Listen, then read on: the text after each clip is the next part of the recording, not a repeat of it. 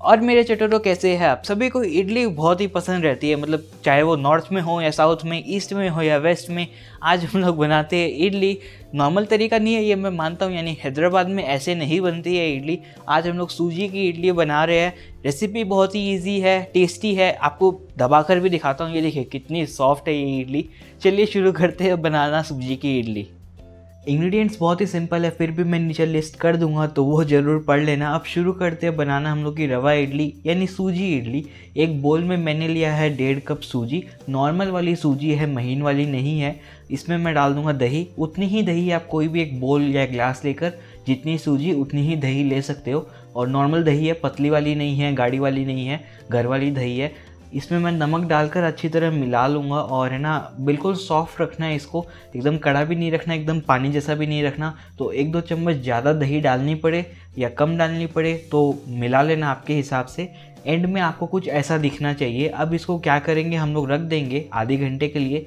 तब तक है ना, अपने इडली के बर्तन में तेल लगा लेते हैं। आपके पास अगर इडली का बर्तन नहीं हो तो चिंता बिल्कुल ना करें। मुझे बताइए, मैं आपके साथ एक और वीडियो शेयर करता हूँ, जिसमें हम लोग इडली बनाएँगे बिना इडली के बर्तन के। अब क्या करते हैं कि, है ना पानी भी उबाल लेते हैं इडली स्टीम करने के लिए। तो ये इडली का ही कुकर है, उसमें मैंने पानी डालकर ढक दिया है। लगभग आधे घंटे बाद आप देखोगे तो ये मतलब थोड़ा कड़ा हो जाएगा, यानी सूजी जो है सारा पानी सोस लेगी दही से और थोड़ी मतलब फूल जाएगी। बिल्कुल ऐसी होनी चाहिए। अब हम लोग इसमें पानी डालकर थोड़ा पतला कर लेंगे। आपने कभी इडली का बैटर देखा हो तो वैसा रखना है, नहीं देखा हो तो अभी देख लो। बिल्कुल ऐसा रखना है इस बैटर को। इस इडली को फुलाने के लिए दो तरीके हैं। या तो आप है ना, इनो यूज़ कर सकते हो या सोडा यूज़ कर सकते हो। दोनों में से कुछ भी यूज़ कर सकते हो। सोडा यूज़ करोगे तो समझिए है ना, आपको three four teaspoon use करना है, यानी पौन चम्मच यूज़ करना है। और अगर इनो यूज़ करोगे तो डेढ़ चम्मच इनो यूज़ करना है, यानी डेढ़ सैचे। इनो डालने के बाद आपको एक चीज़ का ध्यान रखना है कि एक ही तरफ़ से इसको मिलाना है, दोनों तरफ़ से। मतलब ऐसा नहीं है कि सारी जान निकाल कर मिक्स कर दो। एक ही तरफ़ से धीरे धीरे हाथों से मिलाना है और फटाफट इडली की ट्रे में डाल देना है। और इडली की ट्रे में भी अगर आप देख रहे हो तो मैं ऊपर तक नहीं भर रहा हूँ, लगभग थ्री फोर्थ भर रहा हूँ तो एक बड़ी बड़ी चम्मच मैंने बैटर डाल दिया है, उतना ही भरना है इस इडली की ट्रे को। एक बार में इस कुकर में तो मेरी सोलह इडलियाँ बनेगी तो मैंने सब तैयार कर लिया है और पानी भी उबल गया अब तक तो इस इडली की ट्रेस को सबको कुकर के अंदर डाल देते हैं और बंद कर देते हैं। इडली स्टीम करने के लिए शुरू में पाँच मिनट तक मीडियम हाई फ्लेम पर रखेंगे, उसके बाद फ्लेम को कम कर देंगे और 10 और मिनट तक पकाएँगे तो लगभग 15 मिनट लगते हैं इडली स्टीम होने में। तो देखो मेरे चटरो, इडली बनकर तैयार है, अब इसको निकालेंगे हम लोग कुकर से और दो तीन मिनट ठंडा होने देंगे और आपको चेक करना है कि इडली बनी है या नहीं बनी।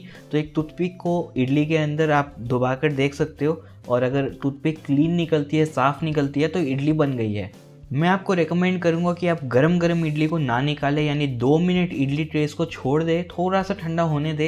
उसके बाद क्या होता है कि आपकी इडलियाँ एकदम साफ़ निकलती है बिना कुछ चिपके। और अगर आप एकदम गरम गरम निकाल देते हो तो बहुत बार चांस रहता है कि आपकी इडली ट्रे में ही चिपक जाए। तो दो मिनट ठंडा होने दीजिए। आप गरम गरम ही सर्व कीजिए इडली को। ठंडा पूरा ना होने दीजिए, लेकिन जब वार्म हो, यानी दो मिनट ठंडे होने के बाद इडली इडली ट्रे से निकाल सकते हो। चम्मच से मैंने जैसे निकाली है, वैसे ही निकाल सकते हो।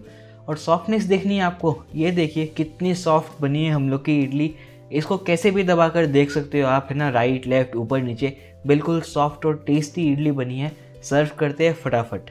मैंने तो भाई सर्व की है सांभर और चटनी के साथ। तो नॉर्मल वाली मेरी घर में जो सांभर बनती है वो है और साथ में नारियल की चटनी है। इडली तो बनकर तैयार है, ये इडली बहुत ही टेस्टी लगती है अगर आप इसे, है ना अल्लम चटनी के साथ सर्व करें तो। लेकिन आप नारियल की चटनी के साथ भी कर सकते हो। तो नारियल की चटनी अल्लम चटनी और साथ में सांभर, ये तीन चीज़ें साथ में हो जाए तो बहुत ही अच्छा लगता है। ये वीडियो में इतना ही। नेक्स्ट एपिसोड में देखता हूँ जहाँ तक सांभर बनाता हूँ आप सभी के लिए। मिलते हैं अगले वीडियो में। वीडियो और रेसिपी अच्छी लगी तो लाइक ज़रूर दबाना और सब्सक्राइब करना कुकिंग शुकिंग हिंदी को। Bye happy cooking